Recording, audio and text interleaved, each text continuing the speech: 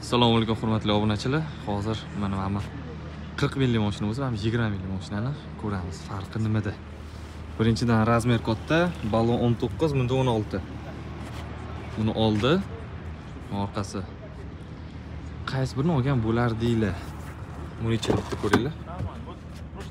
Такой спортивный bo'lib chiqqan bu. Cruise control ko'p funksiyalari bor lekin panorama tomi yo'q. Albatta bitta katta pozitsiyasi bor. Lekin bunda yo'q.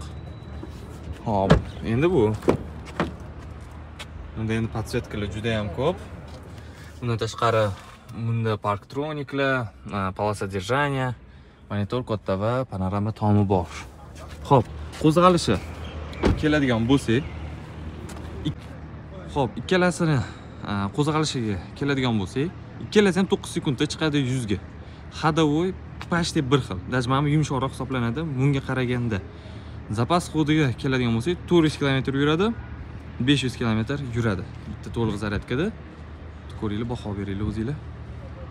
BYD Sun Plus bilan BYD E2 qaysi birini olgan bo'lardinglar ikkalasi ham antiqa mashina